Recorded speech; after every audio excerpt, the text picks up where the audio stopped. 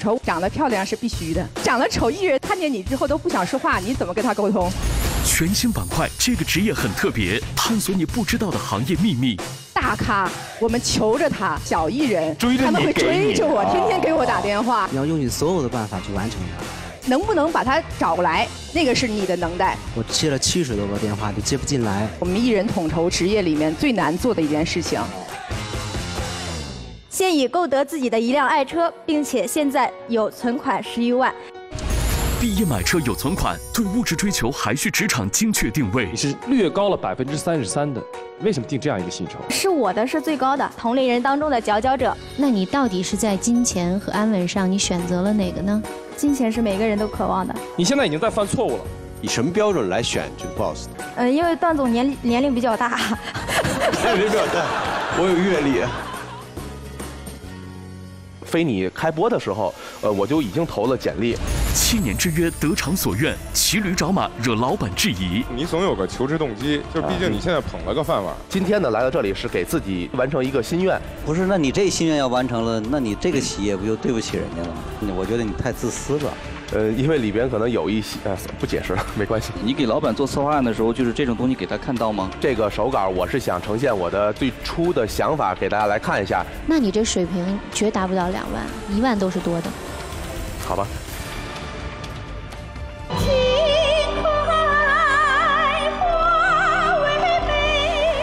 我心里那股劲儿摁都摁不住。宝刀未老，志在千里，超强亲和力能否征服众老板？敏感度和洞洞察力方面还弱一些。哪一个事情你认为是最满意的、最能体现你价值的？我这个亲和力大家都看到了，对面优秀的男士看过来，这个女人很精彩，快点快点爱过来，耶、这里是大型互动职场招聘节目《非你莫属》，欢迎节目主面试官涂磊。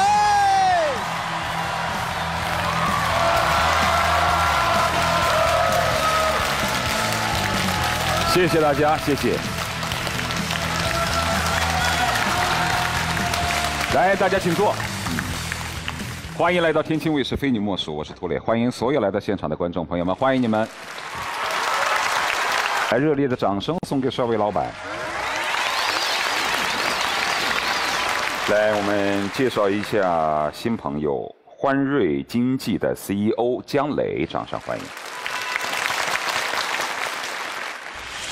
波士团新成员姜磊，欢瑞世纪副总裁，欢瑞经济、欢瑞营销 CEO，国内知名影视策划人、制作人，代表作《古剑奇谭》《盗墓笔记》《大唐荣耀》等。由其掌管的欢瑞经济，更是相继推出李易峰、陈伟霆、杨洋、杨紫、任嘉伦等年轻演员。我们非你莫属又开了一个新的板块，叫“这个职业很特别”。俗话说“隔行如隔山”，每个行业当中都有它的精巧之处和不为人知的秘密，尤其是一些特殊的行业。那么今天我们所有请到的这个行业的两位精英，他们的一些工作轶事，应该是在场很多年轻观众朋友们最喜欢的，因为他们天天和明星吃在一起，住在一起，啊，他们就是艺人的管家，俗称艺人统筹。观众们都非常喜爱的热门综艺、大型晚会，明星自然是台前最光鲜的。其实这些节目往往是有几百人的团队在幕后默默努力着。大家有没有注意过片尾字幕？好长好长啊！在这么长的名单里，有没有注意过这样一个岗位？艺统，全称是艺人统筹，他们是离明星最近的人。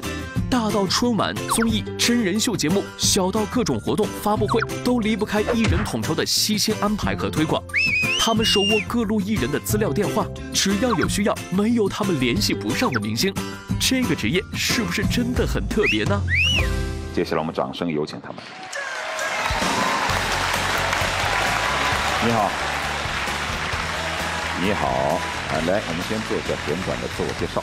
呃，大家好，呃，我是老艺统，呃，基本上是在呃两千零九年到一一年的时候做过两年，然后我现在是在阿里巴巴、大文娱、呃大优酷事业群，然后我做制片人，已经转行了。你还没说你叫什么名字呢？啊，我叫徐航。啊，你刚才说你是个老艺统，还没说你有多老呢。女人的年龄是保密的。啊，他三十二岁。各位老师好，我叫王孝文，做这个行业有些年头了，不比不比我这位旁边的这个同事同仁然后少。呃，节目其实蛮多的，卫视几乎是合作遍了，呃，国内的几大电影节也是合作遍了，那接触的人还是蛮多的，所以说还挺热爱这个行业的。我们说一下怎么入行的好吧？当年是什么兴趣导致入了这行？呃，我是这样的，我是最早就是做编导的。呃，然后呢，是通过一双慧眼，节目的制片人可能觉得我这个人情商比较高，形象又很好，嗯，呃，然后所以就当时刚好缺这样的一个岗位，那说那要不然许航你试一下，啊，我试了两次之后，呃，还不错，对制片人相对比较满意，所以我就开始了两年这样的工作。啊，对，你呢？我以前是艺人的经纪人。哦，你更专业。然后他是从做节目开始的。其实我觉得做节目更更对于这个统筹工作是有帮助的。其实啊，很多年轻的朋友们因为对这个行业好奇啊，是不是没什么门槛谁都可以做啊？你们对这些人说说，到底有没有门槛我觉得门槛其实挺高的。啊，这个这个行业很容易淘汰人。我们看的第一个感觉就是你感觉你人行不行，就是人好不好，是不是大家有这种亲切的这种亲切感？然后另一个来讲的时候，就是你的谈吐，那会不会让人觉得很舒服？如果舒服了，我们觉得也是可以的。然后还有一个很重要，就是能能不能走上来的是脑子。比如说你明白是拒绝了一个人，然后但是呢说出去之后，人家说那好，我就不来了，我特别开心的不来了，但是你就是要拒绝他。哎，做艺人统筹跟艺人一样要长得漂亮吗？我看你们俩颜值也不错。哎，我我个人觉得啊，长得漂亮是必须的。就长得丑还不能做艺人？你长得丑，艺人都看见你之后都不想说话，你怎么跟他沟通？你看着我这样说干什么？啊，我们解释一下什么叫艺人统筹，好不好？艺人统筹，我觉得简单来说就是，呃，为节目啊、颁奖礼啊发艺人的。就给他打电话，叮铃，然后啊，我们这个是非你莫属节目的，我们邀请你过来参加我们的节目啊，大概什么时间，然后有什么样的要求啊，大概什么样的费用啊，这大概是这样，然后你会不会来？咱们能不能说一下你们在工作生涯当中最难弄到的一个电话，最难找的一个艺人的电话，别人都不愿意给你怎么弄到的？我们没有找不到的电话，你想要谁？你现在说，我马上就能不是说要得到，就是有的时候你打电话过去，可能别人不愿意来呢。啊，你怎么搞定？比如说，我们我们这样好不好？我们来做一个简单的这个测试啊。比如说，我们有一个非常重量级的天王李淑玲啊，你要请他来做一期节目，他愣是不愿意来，怎么办？我们现场演示一下。李老师你好。你好。啊，我是本届呃组委会的艺人负责人，我叫孝文。嗯。呃，你好，李老师，那个我们这个下个月的十八号来举行，然后在我们的。呃，首都北京，我们特别想邀请您作为本届的开颁奖嘉宾，因为您的艺术成就呢是非常非常的了得的。多少号？是下个月十八号。哦，我没档。那老师，您看这样行吗？就是说，呃，您先记下这个事情，稍后呢，我们会继续跟您来去沟通，来确认您是否真的有时间或者没有时间。我们先把这个事情来告知您，好不好？嗯，好，到时候跟我助理联系吧，好吧？好的，谢谢老师，谢谢。好。这个刚好就是我们艺人统筹这个这个行业里面，就我们这个职业里面最难做的一件事情啊，就是大咖，嗯，我们求着他啊，让他来，嗯，特别费劲，这真不是一个电话、两个电话，就是就是一个星期、两个星期能搞定的事情。嗯，那反之一些。所谓的小艺人，他们会追着我，天天给我打电话，然后又是一会儿短信，一会儿又是小礼物，然后一会儿又助理打电话，一会儿又推了新作品。对，这个是我们这个职业经常遇到的问题。我有一个问题啊，就刚才你们说，正好说到，就说没有找不到的明星，因为所有的明星通讯录啊，都在艺人统筹的手里面，对吧？这跟我想的不一样，我以为牛的艺人统筹呢，就是哎，我有谁谁的电话号码，你没有。但如果大家的电话号码数量是相同的，我姑且这么认为啊。未来一个顶级的艺人统筹，和一个一般的艺人统筹，他们之间的区别在什么？电话号码是大家共享的，就是能不能把他找来，那个是你的能耐，那个就是看你到底是一个大一统还是一个小一统了。就是谁，我不相信艺人在通一个电话的过程中啊，一个大一统，比如说我叫刘惠普啊，我比这个李浩洋要厉害，我打过电话，人就愿意听我的口条，说哎这人说话特温柔，肯定不是这原因，我觉得。对，不会，因为就是这里面的区别，比如说这是王牌一统，他是怎么做到的？其实这个大一统是他的多年积累下来的经验和他的人脉。还有他的品性，就是你等于就是比如说您认不认我，如果您认我的话，我给您打电话这个是不您来它也有这。种行业地位之分啊？那是不是像就是你一统的话，就我也特别奇怪，像那个那个同样大家都做一统，怎么有些人就能做出行业地位了？就还没回答我这个问题，就是有些人怎么做了半天就没有行业地位？我觉得我讲一下我跟成龙大哥的合作吧。啊，他是特别喜欢你认真的人，你承诺你沟通到的东西全部都可以做得到，然后他就会跟对你的第一次就非常非常的信任，而且呢，他会能全部全程的配合到你，不会给你讲任何一个说叫 no 的一个一个一个这样的一个词，那他会觉得我在这个时候工作跟你工作时我们建立的是同一水平上的信任。专业让人敬重，同时呢，人品让人信任，两点并驾齐驱，这样的话才能建立良好的关系。那我们就说说，在这个行业当中，身体力行的这样的一些工作当中，呃，你们的工作方式、工作的时间规律，是不是特别的不定下来？每天都是很癫狂吧。刚才我从现场来这儿，我接了七十多个电话都接不进来，然后手机已经没有电了。啊，就这个过程其实特别特别的焦躁。然后呢，刚刚还有某个艺人，然后呢，因为他要调所有的化妆间，然后要这个调不单要调，我还要给他再单独开一个临近宾馆的一个房间。如果没有的情况下，然后呢，就有可能我们明天的那个某一个环节就不参与了。也就是说，有的时候你们还要工作当中要受到屈辱，是吧？呃，我觉得叫不是屈辱，其实你在具做具体工作嘛，你要完成它，你要用你所有的办法去完成它。啊，我觉得不是屈辱，你热爱这个行业啊。呃，其实有很多粉丝。相识的样子是什么样子？因为你们是和明星接触的最近的人啊，那你们是中间的这个桥梁。其实有的时候粉丝的一些狂热行为对你们的工作是有干扰的。比如说某个明星在台上被粉丝的水瓶给扔中了，那么作为艺人统筹是你把人家请来的，你应该怎么做？呃，我之前遇到过一个这样的事情，就是也是呃现在很火的一个组合，他们的粉丝真的是太吓人了啊！然后呢，我们当时邀请他过来之后，前面已经做了万全之策，但是后来还是有疏漏，就是有他的粉疯狂粉丝专门从香港飞过来要看他表看他们表演，然后买了我们一个场工老师的工作证进来了。啊有人卖了这工作证是吧？啊，对，你啊这个这真的是你你是完全想象不到的啊！也是工作人员自己素质差了点儿啊，没没保守住底线。然后呢，呃，到了现场之后，其实他们也不想干什么，因为他们真的是很喜欢这个艺人，他们基本上就是我只是想进来看你一下。我觉得这个没有什么特别好那个什么的，只能完事儿了之后，你去跟艺人说一下情况，对，呃，赔一个不是，也就这样了。所以做艺人统筹的前途在哪里呢？女人要结婚，男人要找老婆，你不可能做一辈子艺人。呃，艺人统筹，我认为它其实呃这个行业啊，我是把它当成一个很很很很好的一个职业去看待的。它未来的东西方向很多，其实我们可以往制片人方向去拓展。那另一个方向，我们可以往演员导演方面去考虑。我们更多嫁接于跟制片人、资方、导演之间的这种一个这样的一个专业的桥梁。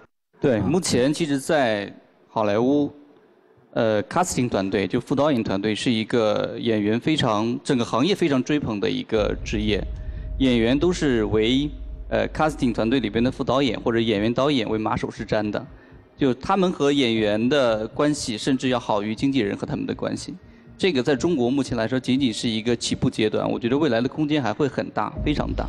我觉得是这样，就是因为现在的这个呃影视的市场，然后大家都越来越专业化啊，然后越来越垂直化。那比如说现在有很专业的这种制片公司，那我觉得艺人统筹这个这个这个职业，它也未必会，它也可以成为一个企业，它也可以成为一个更有包容性的、更专业化的。然后其实我就是这样子的，因为我其实做了这么多东西，就是一个整盘的。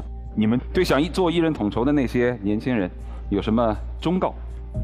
呃，我觉得大家呃想要进艺人统筹这个行业，我觉得就放开胆子啊，然后我们可以先从艺人统筹助理开始，后面一点一点的步入到正式的艺人统筹这个行业来。呃，两句话吧，天高任鸟飞，海阔任鱼游。只要你有本事，你就来做好了。我觉得做艺人统筹也好，做经纪人也好，最需要的是一颗平和的心态。你身边站着很多明星，每个人的成长路径都不一样，有踏踏实实这样成长起来的，有走捷径起来的，有靠着脸起来的。看着他们红的时候，你要有一颗按耐的心，你不能说我离他这么近，他这么红，凭什么我不能红？那你肯定做不好经济，也做不好艺人统筹。你只要有一颗这样的平和的心态，甚至有一点点淡泊名利的心，你才能把你的工作做好。否则的话，你每天可能都痴迷在他别人的梦想当中。非常感谢两位来到节目当中，为我们解读了这个行业的一些相关的一些专业知识和一些不为人知的秘密。谢谢两位。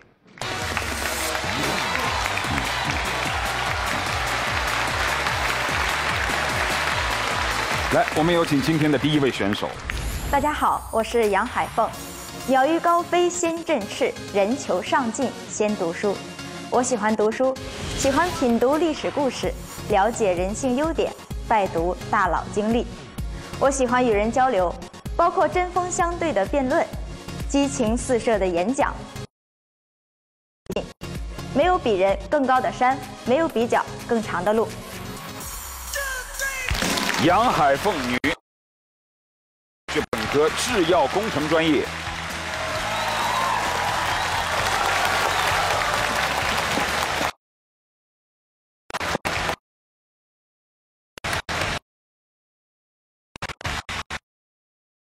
在场的们、观众朋友，海凤，我从遥远沙漠边陲的甘肃来到了美丽的海滨。成为同龄人当中的佼佼者，于个人特点而言，具有很强的学习能力，且现已通过一系列的兼职自学成为一名培训讲师。在工作方面，各项业绩均处团队第一。在校期间多次参加相关活动，并斩获相应奖项。在生活方面，大二开始生活自立，现已购得自己的一辆爱车，并且现在有存款十余万。今天来到非你莫属的舞台，想寻求一份培训讲师类、助理类、营销类工作。谢谢大家。崔老师，见到了有温度的您，比较紧张。我平时都没温度是吧？不，平常都在电视上看见你，摸不到，今天还摸到了。有存款十余万。嗯，对，有车一辆，对，二十三岁有车，有存款十余万，还不错哈。我对杨海凤这个选手的第一印象是非常好的，我会觉得，呃，她的气质也很优雅，而且她一点点都不出场，还能够跟主持人这种谈，呃，感觉还是非常不错的。恕我直言啊，你上面写着二十三岁，嗯，但看你脸上的沧桑，像三十二岁。嗯，岁月留下了岁月留下了痕迹。你是不是吃苦了？啊，从小开始吃苦，吃到现在了，所以看起来比较苦。我这上面写的你的家庭状况比较特殊哈。啊，对，其实他们两个相差的年龄比较大，这个刚开始小的时候不能理解，不同意，然后后来大了也觉得就这样吧。大多少？二十二岁。父母是处于离异的状态，对。小学到初中期间一直都是爸爸带我，嗯，高中到大学期间一直都是妈妈带我。那所以说，这上面写你从小就开始能够自立生活，是吧？啊，对，因为小的时候妈妈不在嘛，嗯，然后小的时候就放学以后就开始在家做饭，七岁就会做饭了。咋哭了呢？没哭。哭了？没有。我都看见了，往事不堪回首啊啊啊！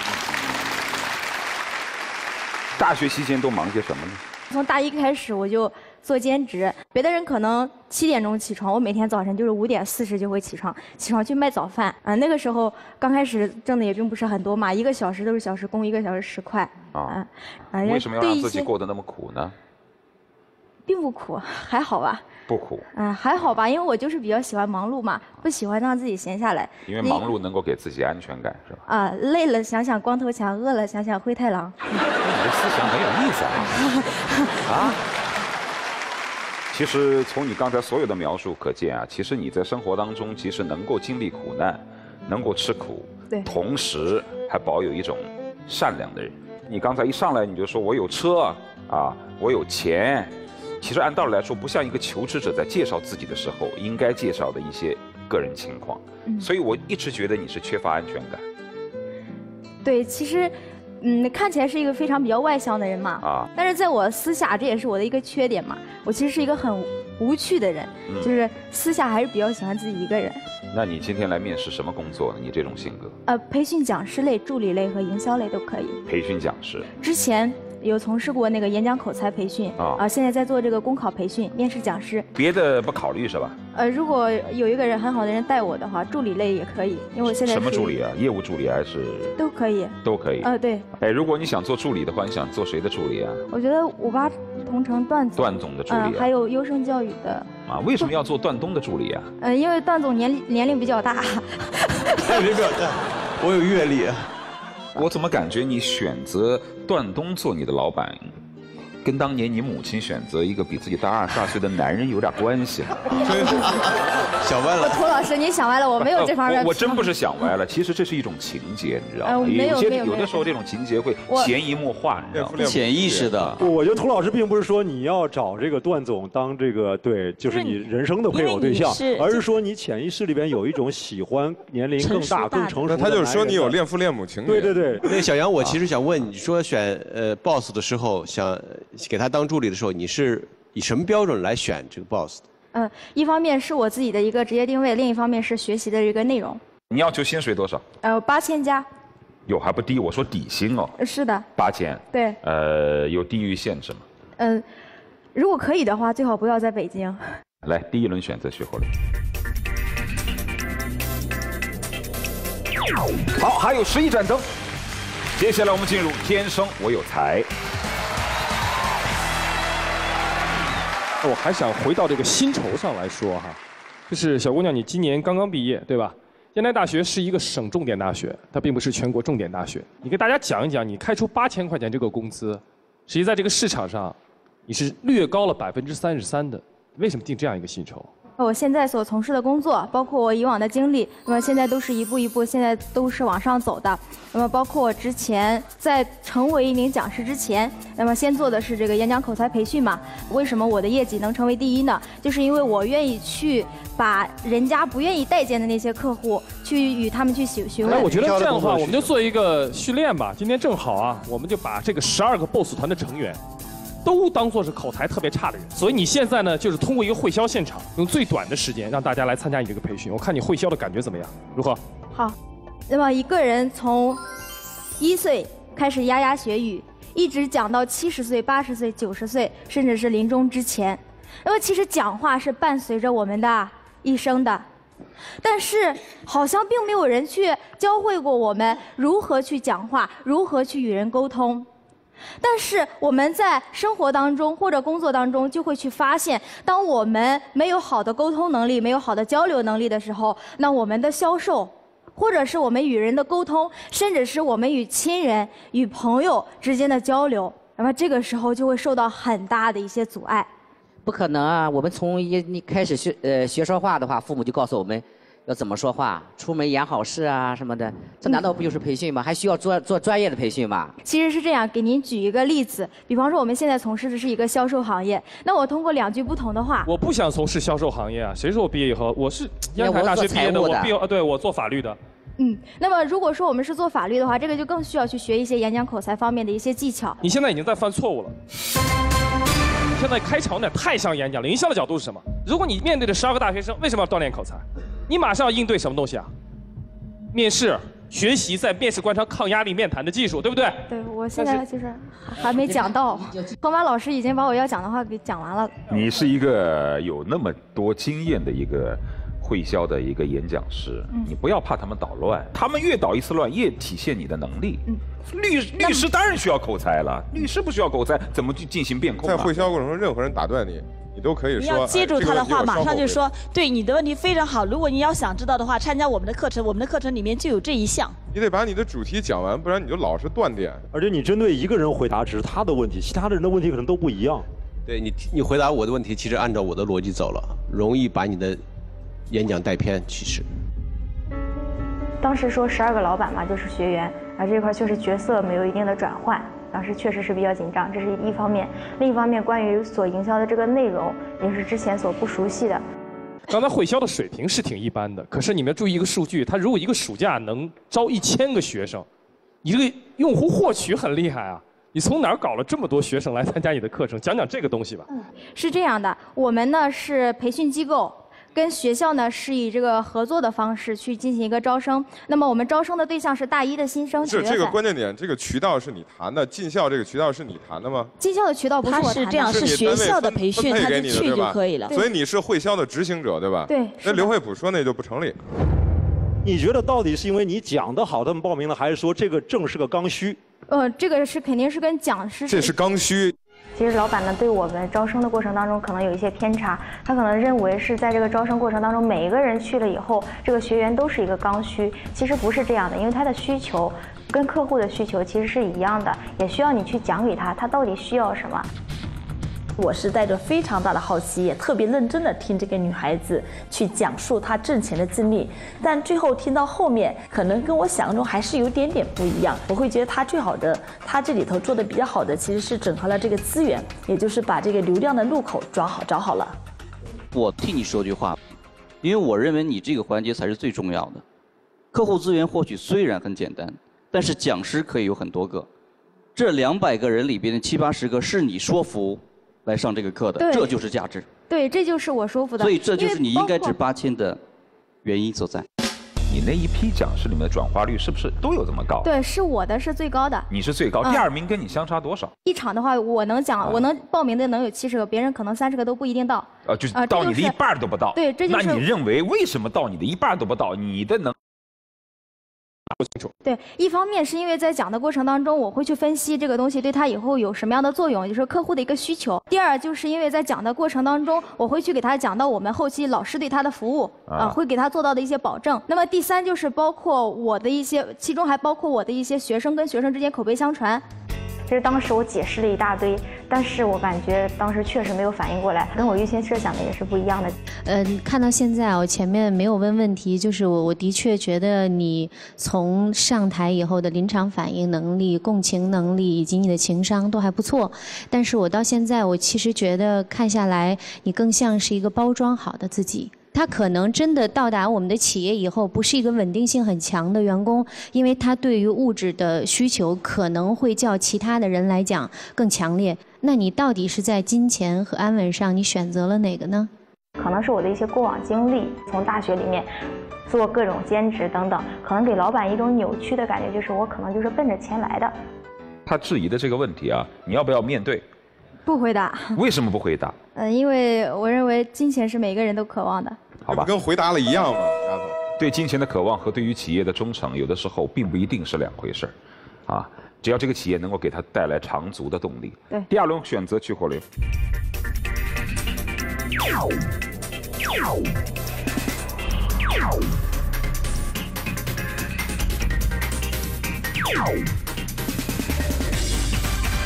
还有七盏灯。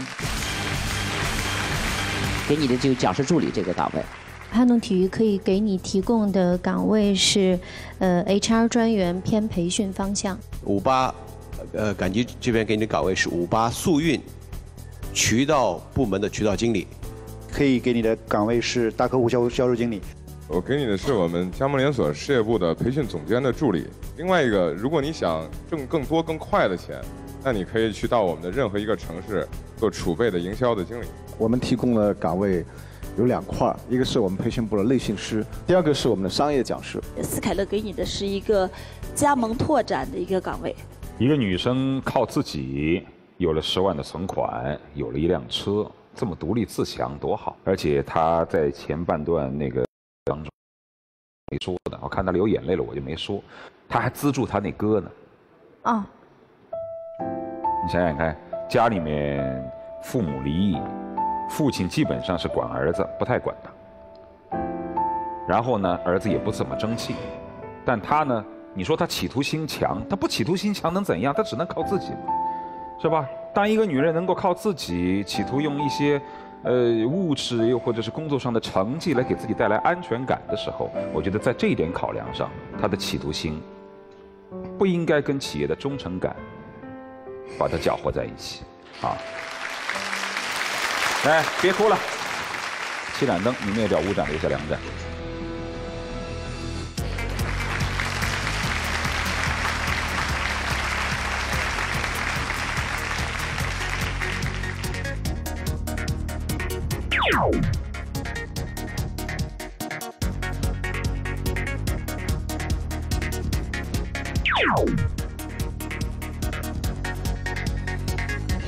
京是吧，陈总？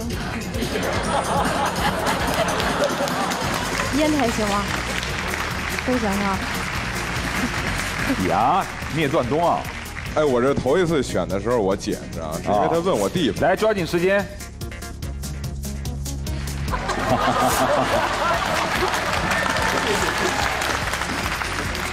谢谢陈总。有请定胜兵段东，谈钱不伤感情。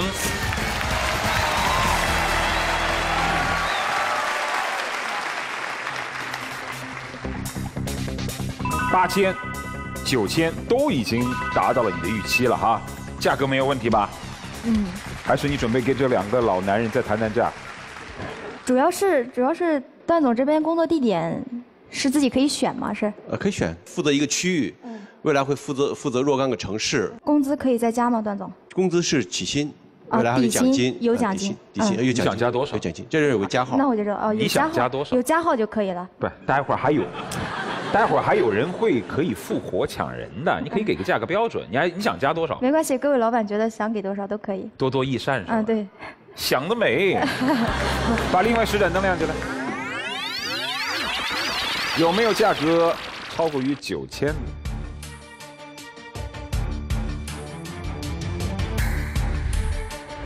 一万。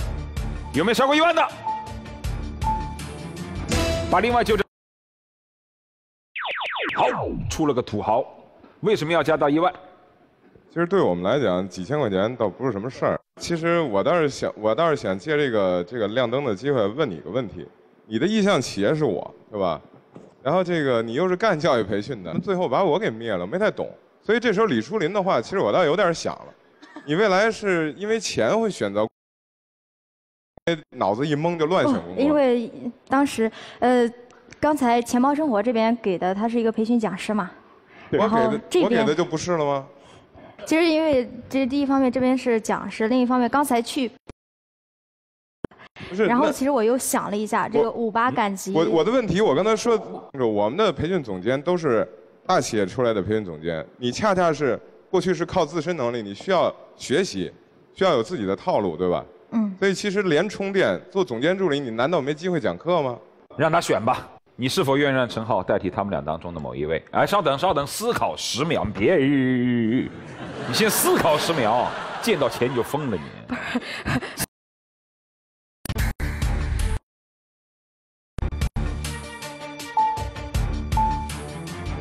你的答案是代替钱包生活。为什么？那因为陈总这边的话，跟着总监他可以学到很多东西，可能直接上来做这个钱包生活的一个讲师，呃，学到的可能是这样的，就钱包生活，我们这我们公司非常年轻，互联网是创造你奇迹的已经没有，你已经没有机会了，请你黯然离场。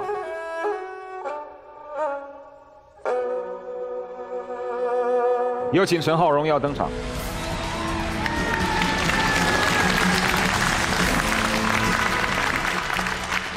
好，好好考虑一下啊，镇定一下啊，镇定一下，别懵了。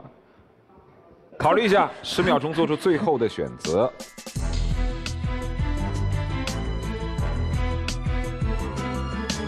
五八速运、优胜教育，或者是谢谢再见，你的选择是？五八速运。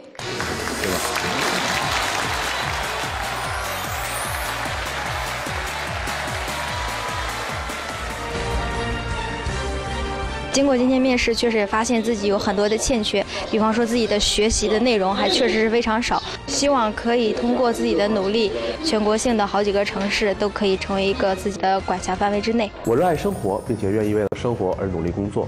在生活中呢，我也比较热爱自制作视频，因为制作视频给我带来了很多乐趣。今天能够登上非你莫属的舞台，我是非常的开心，因为圆了我多年前的一个梦想，通过了海选走上舞台，所以今天我会倍加珍惜这个机会，相信今天的我一定会赢得很多老板的青睐。张宇，男，三十岁，天津人，天津商业大学本科，生物技术专业。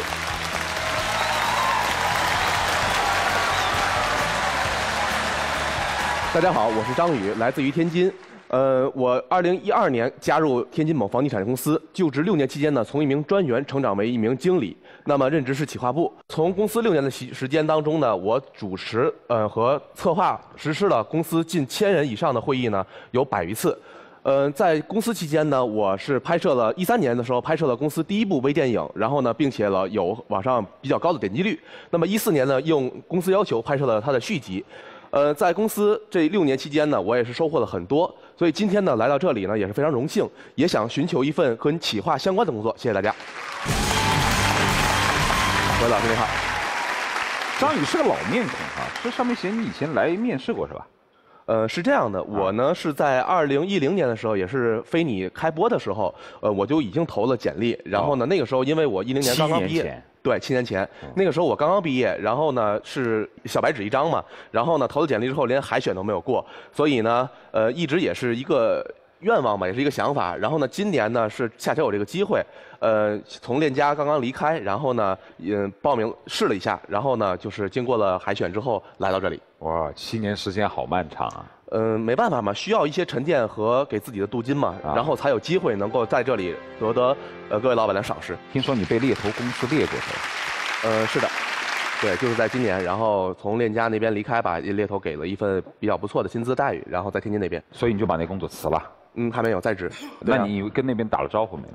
说你要来应聘？是这样的，我是这样来理解的，因为作为一个求职者来说的话呢，呃，你要对每一份工作负责。因为我从链家离开的时候，我也用了大概有一个多月的时间，呃，帮他把这个我的接班人已经培养起来了，然后呢，也把团队相对稳定了有一年多的时间，所以我才到今年才选择从链家离开，因为我在链家已经有六年的时间了啊。那你的新工作不才才不到一个月呀？这个今天呢来到这里是给自己第一完成一个心愿。第二呢，是有更多的机会去看一看。不是，那你这心愿要完成了，那你这个企业不就对不起人家了吗？而且还是猎头公司，猎猎头公司的费用已经收了呀。这个东西是企业和猎头之间的一个。那你要这样的话，你我觉得你太自私了。呃，就第一，我是来到这里是我的一个之多年前的一个想法和一个愿望。然后第二一个呢，我投这边的简历是我从链家刚刚离开的时候投的，那边还没有确认给我 offer。啊，这个这个也不能成为解释啊。这个你要是说你只是为了完成一个梦想，呃，你已经上来了，你可以走了。但是说你当初虽然你接到面试的时候啊，时间是你已经入职了，但你毕竟现在在工作。我的意思是指你可以来，但你至少跟人家打个招呼，跟人家说一声我要到这来面试，人家没意见，哎，你就来没关系。原来好多求职者就是这样。这个我有说过呀。你不是刚才没没说这个？不是，我说我是刚刚入职啊。啊，你跟那边说了吗？你来面试？我面试我肯定没有说。你为什么不说呢？这我觉得，那你这不是就骑驴找马吗？你这里有工作又跑去面试，对不对？不是，而且在一个这样的舞台上。我觉得涂磊说没毛，就是你总有个求职动机，就是毕竟你现在捧了个饭碗。我正在纠结，我说要不要来？但涂老师说的真的是对的，我没有跟老板那边去明确的去说这个事情，这个是自己的不对。这是什么？是这样的，这个呢是要给各位老板已经有缩印版的，拿放到各位老板那边应该是。给你两分钟解读一下。大家可以看到，第一个就是相对小一点的那个，那个是我在二零一四年，二零一四年在链家呢做企划经。企划主管的时候，然后呢，公司要求我去转做培训的主管，然后呢，我是接触培训三个月之后画出来的一个培训的一个呃系统图吧。另外一张呢是近期来画的，画的是给现在这个公司来制定的一个企划的一个管理方案，呃，其中就会包括工作的一些细分的细则，大家可以看一下。这个你不会用一种软件给它画出来，就非要用手吗？呃，不是的，这是手稿。那个我们的我的 PPT 版本和 Word 版本有电子版。那有手稿，你为什么你这个我们看不清楚？就是啊，检查了吗？我检查了，检查了不清楚就送上来。呃，因为里边可能有一些，呃，不解释了，没关系。很致命的一个问题，因为你毕竟是企划部的经理，你给老板做策划案的时候，就是这种东西给他看到吗？OK，我只能跟各位老板说对不起。那为什么呢？因为这个手稿出的想法给大家来看一下，然后如果呃不精致的地方，请大家原谅，因为我的。呈现的方式并不是很对，我的能力其实我是一点不怀疑的，我是有这个能力的，但是可能因为我今天的准备是非常非常的不充分，呃，所以我没有把自己的能力展示出来，所以让老板没有看到，让老板产生了质疑。第一个我呈现的这个关于培训相关的这个呢，是我在二零一四年的时候，刚刚接触培训大概三个月的时间，我想呈现的是我的一种学习能力和总结能力。第二一个给大家呈现的是现在的我的对于企划工作的一个规划和计划，想给大家呈现的这是哪个企业的？你现在给我们这个。呃现在就职第一个好像是链家的哦，现在就职企业啊。啊，这个是看写的现在就职企业的。就职企业写的是一七到一八年的嘛。对。那你这水平绝达不到两万，一万都是多的。好吧。那两张纸的话，其实是一个应届毕业生在我们公司一点点时间，他都能够画出来。再再加上这张纸是你怎么来的，其实也很难鉴定。所以我会认为他给我们提供这两张纸是完全证明不了他的能力的。再加上纵使能证明的话，他也是太宽泛了，就根本就没有进入到细节。刚才张宇说他是一个对于非你莫属，是一个梦想，对，是吧？七年了，七年了，你真的应该准备的充足一点才是，是吧？行吧，别的不多说了，你只面试企划经理，别的岗位考不考虑？呃，是这样，我呢可以考虑别的岗位，比如说和企划相关、和培训相关的，我觉得都可以。要求薪资多少？如果现在的话，各位老板认为我不值这个价钱，但是我仍然要求我的坚持我的薪资。两万，对，底薪，对，有地域限制吗？嗯，最好能在天津。第一轮选择徐活雷。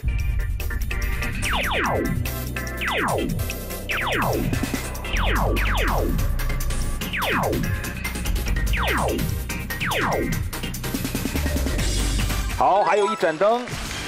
接下来我们进入天生我有才。我想请老张来解读一下这位选手的一个个性问题。很显然，这位选手是有个性，也是肯定是有能力的。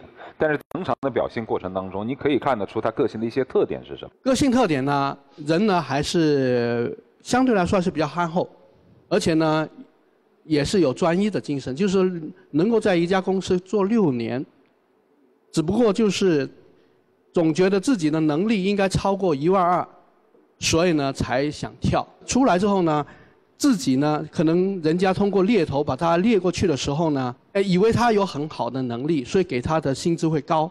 这时候呢，他就把自己的能力水平呢锚定在两万左右，一出来就两万。假如说你今天上舞台说你是一万到一万二，可能老板都会。所以说你的意思是说，他把自己的定位定得过高了一点，过高一点是这意思吧？对嗯有点小清高。其实我觉得人生就是一场长跑马拉松，呃，我觉得我这个今天算是跌了一跤，但是这一跤跌得早，我觉得有自己的改正的机会，未来还可以再站起来继续往前跑。我想问一个品牌方面的问题哈，品牌策划方面的，链家也是我们的客户。嗯，我们知道链家呢有一个比较成功的一个一个广告，它叫三顾茅庐。你对这个广告的这个策划你是怎么看的呢？当时这个广告推出的时候，应该算是链家快速发展，并且呢是在链家一五年那时候比较融合的阶段。呃，四大名著的这种这种想法创意是非常亮的，对。然后呢，也是融合的这种融入包容的一种想法在里边，而且呢也是比较明快。你觉得这个广告它这个版它有哪三个优势？最好的优势哈，第一就是容易让人家去一眼能记住它，对。第二一个就是把链家的承诺的点都说得很明白。第三一个就是呃让，呃我觉得啊个人感觉哈，就是链家这广告做的时间非常成功。你是回答的实际上呢就是没有达到我的这个预期，也就是说最后一句话很重要，它的叫回马枪的那个定位还记得吧？对。叫选选选房产找链家。找链家对这个呢是最关键的，它是一个非常好的一句话定位，叫幺三五结构啊。这个你看来你在做企划的时候呢，品牌方面你是弱的。在第二轮选择之前，再次确认你的薪酬要不要调？不调。我觉得我的能力现在已经达到了两万的水平，所以我坚持不降。而且还有一个原因呢，就是说我觉得我能够找到这样的工作，只是可能现在在现场没有展示出来。第二轮选择徐活雷。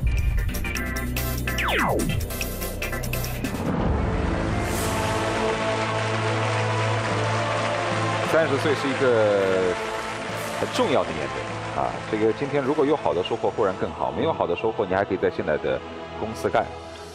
呃，我想说一句好吗？啊你想说什么嗯嗯，是这样的哈，我今天呢来到这儿，其实呃纠结了很长时间，然后呢突然灯都灭了之后，心里忽然释然了，因为自己的一些理想或者是想法做了一件大家很讨厌的事情，这个有点自私了。但是呢，我可以去用自己的方式去承诺一些事情，就是我一定会在现有的公司去做得很好，而且呢再去证明自己的价值。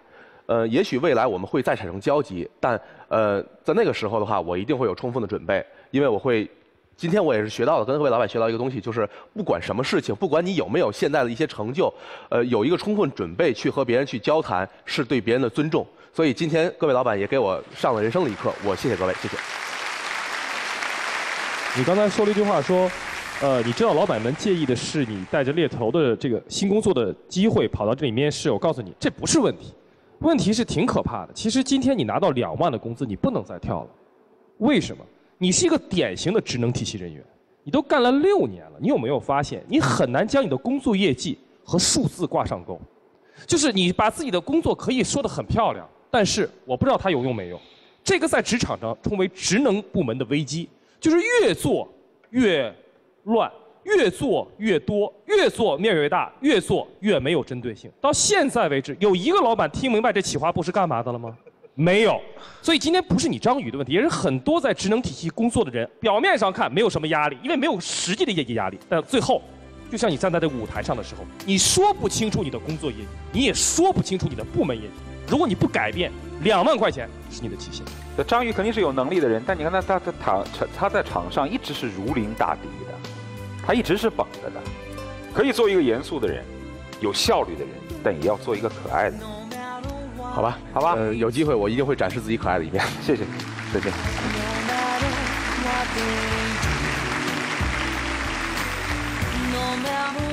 呃，我觉得人生很长，是一次长跑，只要你能够让自己去坦诚的面对每一次摔倒，然后。抓紧时间，然后赶紧去让自己坚强起来，爬起来，去继续下一次的里程，用更长的时间去证明自己，这个是最重要的。我希望自己能够在我，呃，三十到三十五岁之间再完成自己第二次蜕变。人生充满正能量，生活从此不一样。我的人生字典里没有抱怨，没有灰心，我就是一个劲儿的向前冲。十二位老板。可能对我的能力有所怀疑，这也正常。但是我有丰富的人生阅历和社会经验，我有良好的沟通能力和亲和力，我更有一颗不达目标永不回头的坚强的心。生活是一场竞技，灰心将会失去勇气。黄亚斌，女，五十三岁，吉林人，吉林龙井教师进修学校教育学专业。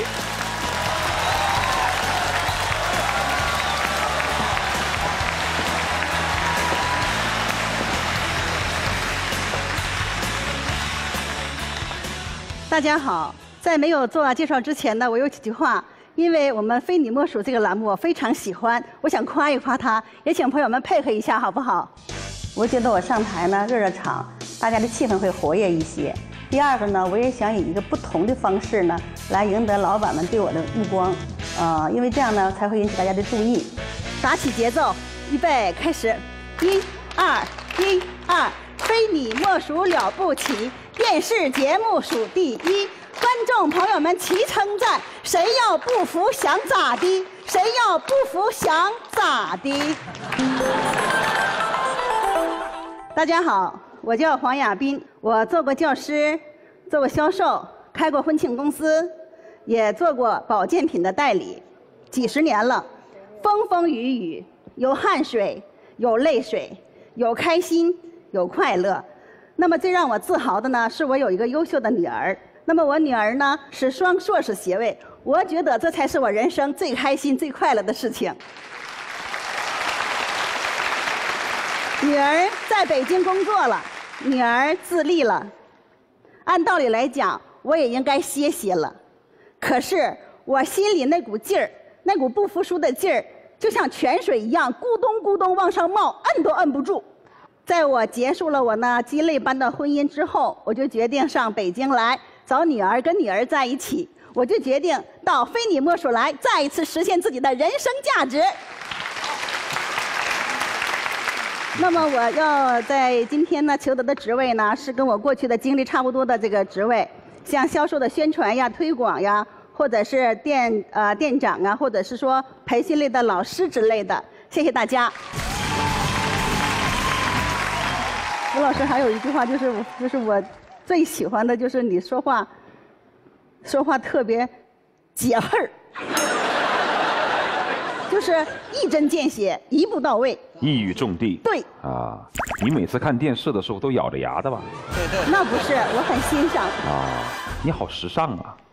谢谢。啊，你一直都这么穿的吗？基本上都是这个样子。我听编导说你不化妆是不出门的呢，是吧？对。哎呦，每次化妆得多长时间？四十分钟。四十分钟啊！对。那得了，那你将来要是工作的话，这太影响工作了。那我不会早点起来吗？早点起来。对。哦，你刚才说了半天，你跟你女儿没说到你老公啊？分开了，分开了，分开了啊，那就不说了。所以说今天如果方便的话，我还可以征婚，是不是？可以。可以，那我就争一下了啊！啊，那你争一下，争一下。对面优秀的男士看过来，这个女人很精彩，快点快点爱过来，耶！本来吧，你不说，哎，会有人联系我们栏目组。刚才你那么一扭，估计没人敢来。这大姐太火辣了啊！我觉得她的亲和力还是非常强的，而且给人的感觉非常的喜庆。虽然也已经五十多岁了嘛，但是她的心态其实还非常非常的年轻。这一点的话，是让所有的老板特别打起精神来的一个很重要的原因。为什么你五十三岁就已经没工作了呢？我不是没工作了，我是想跟女儿在一起。跟女儿在一起。对。你之前是干嘛？保健品的一个代理。在哪里做？呃，在浙江。一年挣多少钱嘛？三四十万吧。那可以呀，那干嘛不干了跑北京来干什么？呃，就是女儿呢，现在也自立了。啊。嗯，就是想歇一歇了，也很累嘛，很操心嘛。那干嘛又来找工作呢？呃，心里头有不舒不服输的劲儿吧。啊。待了有差不多两年的时间，这两年待的我。东北话叫五脊六兽，啊，所以你到北京来，为了跟女儿在一起，是为了在跟女儿在一起生活呢，还是有别的目的？还是要看着她？这个目的我不敢说。说。说了，我女儿就把我撵走了。我要的就这效果。我。呃，我女儿的年龄也不小了，家里人都挺着急的，把我派到北京来，是想希望我女儿早点成家立业的。多大就毕业？我女儿，她她瞪我呢。啊，在现场是吧？对。说她多大年纪啊？二十八。二十八。哎。来来，有请啊！主持人好，各位老板好。啊，这个黄亚斌女士就是我的妈妈。啊，是你的女神。啊。我感觉你们俩在一起是女神和女汉子，啊，对我那个外表比较中性，不，他他他要逼你结婚，都逼到北京来了。其实他是更不放心我吧，就之前我们一直都没有在一块儿，我妈妈有自己的事业，然后我也有自己的学业，也长期在外面，就是两个人也是不在一块儿的。你母亲来今天来应聘啊，她虽然说是说到北京来看着你的，但她说她会带出病来。你觉得你母亲最适合干什么？呃，我妈妈是一个非常有领导和组织能力的人。因为我在山东上学，所以她就在山东有自己的一份事业了。从一开始呢，呃，去饭店里面当一个很普通的这种服务员，啊，到后来成立自己的演艺公司，呃，都是她自己一个人打拼出来的。你母亲特别不容易吧？对。听说你以前是在澳洲留学是吗？呃，对。所有的一些费用都是母亲来担负是吗？基本上是的啊，所以母亲在你心目当中的确是个女神的存在。呃，对，她是我的偶像，也是我成长的榜样。行了，我们聊我们的事儿，我们聊我们的事儿啊。你今天来应聘的是店长、销售管理和文化宣传，你要求薪资多少？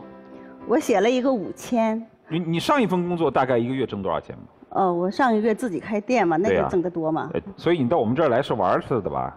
不是这样的，会好好干的。那你有没有意向的老板？想去哪家公司？我不认识，我没记住，一个都不认识。你看非你莫属的吗？看，看怎么可能记不住老板呢？刚才还还在那唱呢，哎，非你莫属，感觉你是个假粉丝呢。对，销售上的自来熟。对呀，跟你很熟，我哎呦又见您了，其实没见过，好尴尬啊。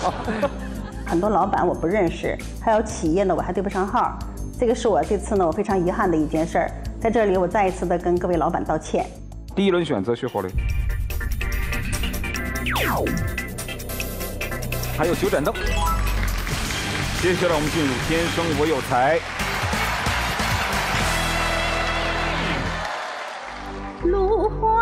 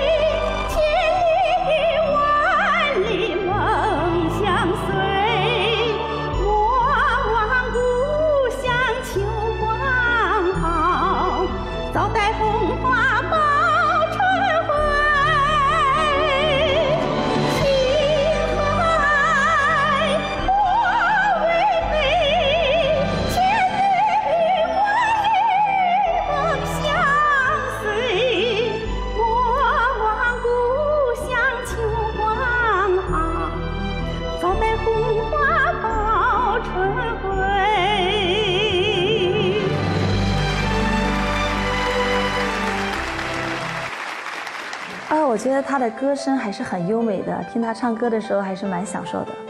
他做过婚庆主持，对他能一个人足足跳满一张光盘，对，唱一个多小时，唱是吧？对。但这个这个我们这儿用不上，我们这儿不招歌唱演员。呃，实际啊上我就是最喜欢做的，也是我就最开心的嘛，还是那十年的呃婚庆工作。哎，如果他做婚庆方面的活动执行，能不能做呢？这个有点大了，这个要做婚庆这一块儿，他这年龄啊。我们还没有谈到你以前工作的一些工作的成绩哈。你说想做店长，你说说你以前干那店啊，干怎么样？嗯，还行吧。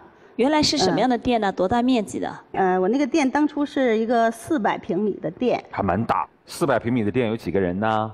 雇了员工有呃五个人，雇了五个人，每个月的流水怎么样啊？呃，还算是一般吧，不算太好。哦嗯，那你怎么管理一个店面呢？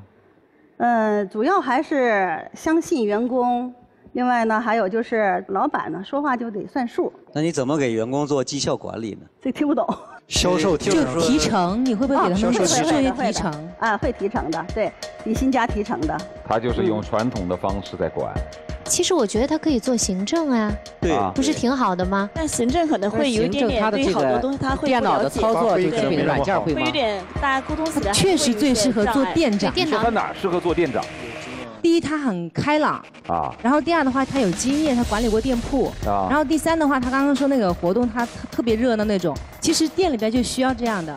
我们在北京有一个店长，目前是销冠，他年龄也是接近快五十岁，跟街坊邻居关系特别好，所以他生意的复购率特别高。就是我有个好奇的地方啊，他那个跟我就您上台以后一直都信心满满，其实我特别期待谈谈您这个店的经营和业绩的，而且刚才有一个细节啊，说一个月挣一年的话，纯利润二三十万，这是您说的吧？对，一家三线城市的店也管了几百平了，纯利润一年有三四十万，不低了。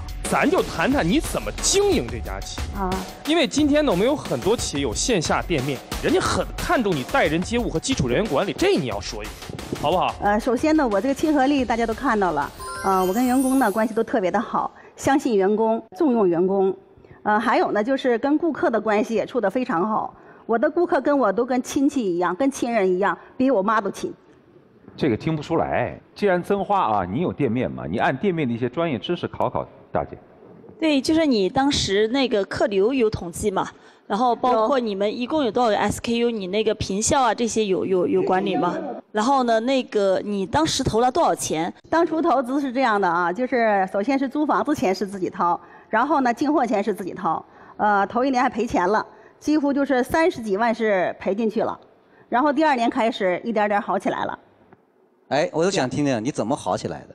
呃，第二年开始，产品呢被顾客认知了，自己在这个经营当中不断的学习产品知识，把你了解的产品的知识讲给你的顾客听的时候，有了共鸣，顾客一看啊，确实这么回事儿，那产品就卖卖出去了。个产品，卖个产品，对呀，你可以卖给我吧。就卖就卖伊贝诗嘛。就是我，我是最不适合、最不需要面膜的，天生丽质啊。刘总，哎这个天生丽质，想不想继续励志下去？想啊，谁都想的话呢爱美之心，人有哎，对呀、就是这样嘛。想永葆青春，肯定要保护自己的皮肤的。对对呃，那么还有就是说，像冬季呀、呃，是我们皮肤是缺水的时候，那么我们这个面膜呢，它是这个我真的不缺水非常好。，我在海边儿，在青岛那个地方，天天吹海风，就讨厌那个潮湿。是海风，你以为吹的是好的吗？那个风嗯本身吹来之后就会干的呀。这个它潮湿啊，所以说我们呢就是一点儿不干皮肤。它油大，我的反应没有那么快，超出我的这个想象范围吧，没有想到。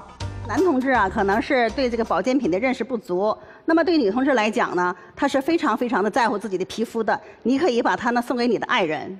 我爱人呢倒是需要哈，但是他很可能皮肤是那种好非常干燥的那种皮肤是吧？我不知道你这个是什么样的这个产品呢？那正好，这个正好嘛，它不是干燥的皮肤吗？对呀啊，一般实际女同志啊，呃，可以这么说，百分之百都需要。啊，哎，对，价格贵吗？价格适中。他接触的好多的这个卖这个保健品的，就是这个面膜的啊。但是我也不知道他喜欢哪种。就如果我来给他买的话呢，我也不知道该怎么选呀。那他的这个平时的习惯是什么呀？他是喜欢高档的还是喜欢低档的呀？哎呀，我告诉你，他喜欢低档的，不喜欢高档的。今天正好我们搞活动，嗯，哎，正好搞活动啊！你买一盒，我们还送一盒。呃，这个买一盒送一盒。一般来讲的话，我们觉得，就是如果这样的话，这促销方式吧，就认为你这个产品很可能反而不好。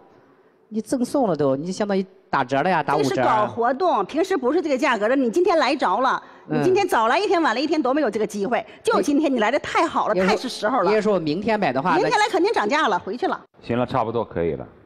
谢我我觉得可以了。我觉得他卖面膜呢，凭的其实是一种社会经验，他并不是从产品啊，从这个人的需求的角度，呃，聊得多好。但是我是觉得他的那种亲和力，包括他这种主动性还是可以的。促促销的时候，现场促销啊，我一直始终坚持一个思维方式，就是用户思维，就是你一直没有问，我觉得我夫人更详细的一些个她的这种需求，这需要什么洞察力、联想力，还有一个是敏感度。我觉得你很可能这个敏感度和重洞察力方面还弱一些，你的联想力还可以，很快能够转到去，灵活性有了，我是这样认为的。我觉得大姐很有热情和亲和力，但销售的技巧还是欠缺一些。来，第二轮选择徐国林。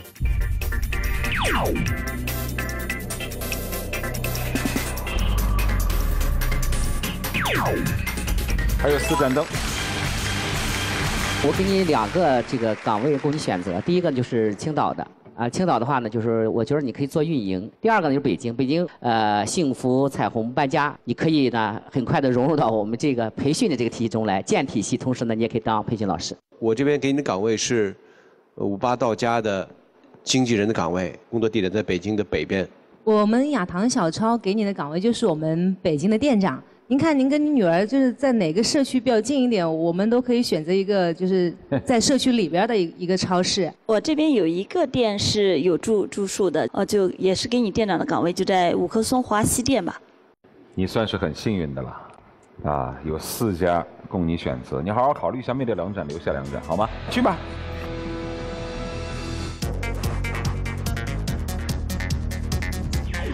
再灭一盏。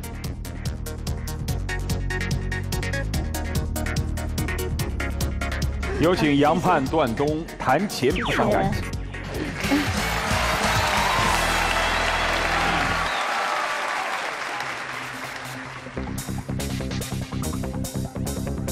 来，请揭晓。五千五千五，对这样的薪酬还满意吗？还好吧。还好吧，你可以讲的，这叫谈钱不伤感情。哎，你要涨吗？你涨更好呀要。涨多少？直接说嘛，开价嘛。亚堂，涨多少钱？再加点吧。加多少嘛？你直接开价嘛。如果说要是没有住的地方，是不是还得租房子呀？住大姐，这这事儿是这样说啊，就是你住房的这个问题不应该是企业的成本。我知道呀。你你要加钱可啊以，你可以说别的理由，哦更这样吧更容易说服他。好的我我跟您说一句，我们的北京的店长的话，有的有一万多，有的有两万多都有。我们的销冠的话，接近快三万。这个是看你个人能力，是不是？对，因为这是底薪，呃，因为是店铺是销售，所以我们说真的不要把这些规矩破了，因为我我相信您一定会成为我们北京的销冠。先谢谢。哎呀，好，大姐要做出最后的选择了，你思考十秒。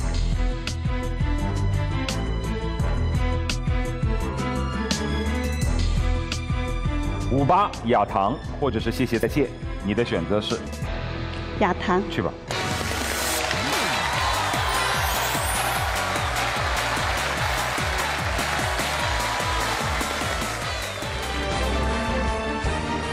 那我这个年龄啊比较大，那么有这个老板呀肯用我，我都非常高兴的。那么我的职业规划和打算呢，我是想随着呃公司的发展在进行吧。对我自己来讲呢，只要给我给我一份工作，我都会认真的去做的。我将以饱满的热情、积极的工作态度完成老板给我的工作。找工作上万热门工作任你选，欢迎通过五八同城和赶集网报名参加本节目。精彩生活多一点，本栏目由钱包生活特别赞助播出。报名非你莫属，请将简历投至邮箱非你莫属的全拼二零一零 h 幺二六四号。下期节目不见不散。